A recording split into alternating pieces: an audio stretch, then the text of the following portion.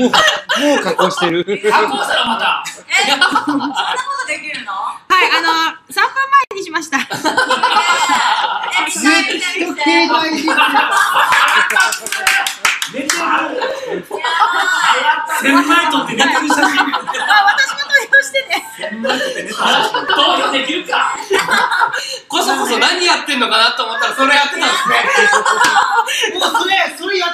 ったら俺も岩川のばあちゃんから電話来てるから電話するから。やめろやめろやめろその間の MC 彼になるから。いや、でもね、こういう雑誌に出れるってのはね、すごいですねすごいですね。森田さんもグラビアやればいいじゃん。誰が見たいねん35歳の裸。しかも、ペラッペラのペラッペラのやつ。でもね、あの多分大貫さんがパッと頭に浮かぶと思いますけど、森田さんの裸一人見たい男がいると思うんですよね。誰？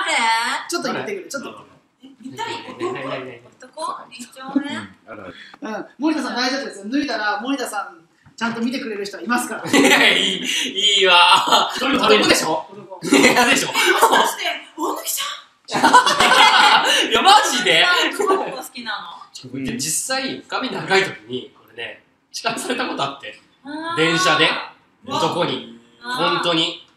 あれマジ、どうしていいかわかんないもんだね。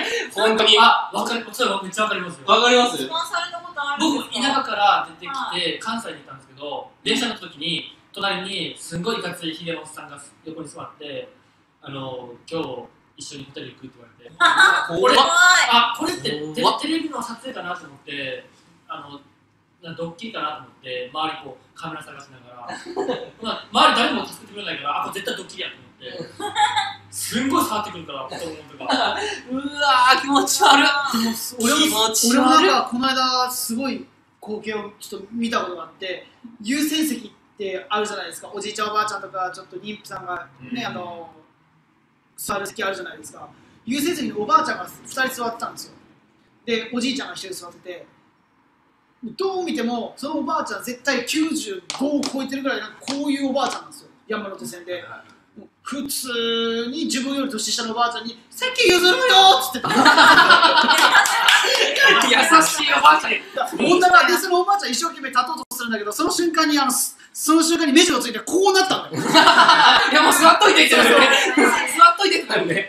座ってで隣の隣のそこに座ってる隣のおばあちゃんが親族かなと思ったらもう一番壁側のおじいちゃんが親族だったからこの人誰だろうと思ったら赤の他人だったらしい。マジか。すごい面白い光景もありましたね、でもへ面白い光景って言ったらねあの役者さんだったらいろいろなもう光景だったりとかそういうものが勉強になるじゃないですか。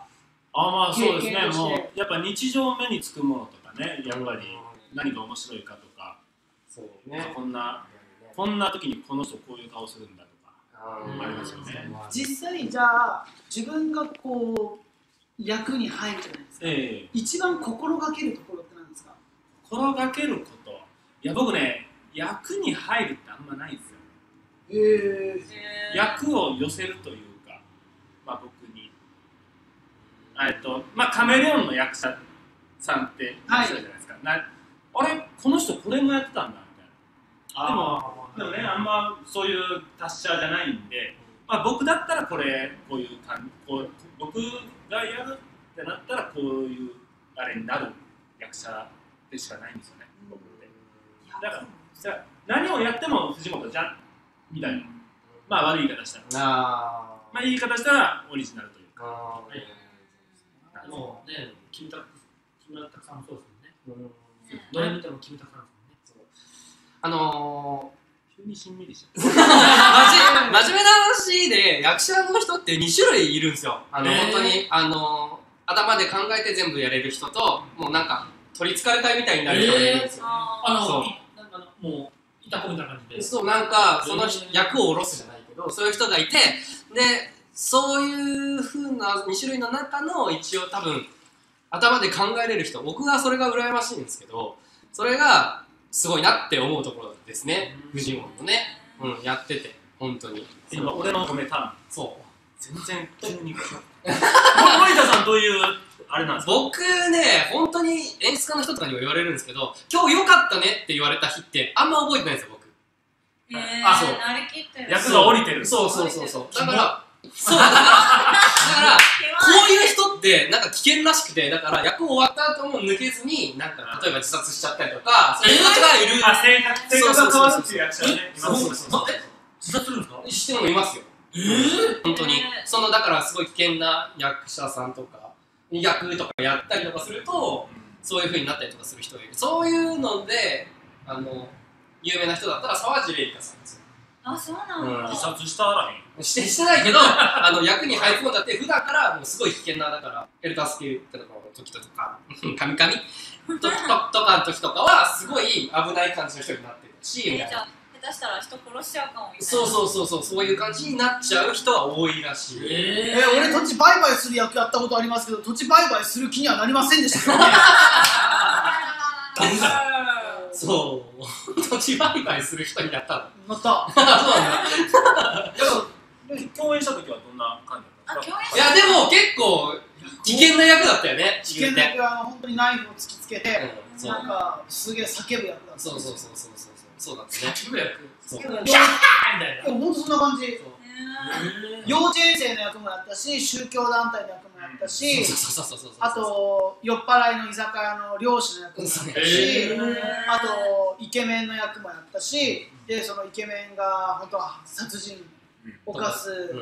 危ない人だっていう役やったりとか。そうそうそうそう。うん。そこの団体さんがねその一つの公演で違う違う。違う 一つの公演でいろんな役をいろんな人にやってもらうみたいな団体さんだからそうそれで結構やってたよね。めっちゃ悩んでたよね。これ苦労した幼稚園生の時が一番苦労した。え、幼稚園生の役？幼稚園生のやつそんなあの黄色い帽子かぶってな。本当に苦労した知りたい。いやもうね本当にねあの見せられないですよ。じゃあちょっとちょっ見たい。とえ、じゃあちょっと。下ろ役下ろしてるよ今。してる。降りてる降りてる。いや俺も覚えてないんだよねそこ。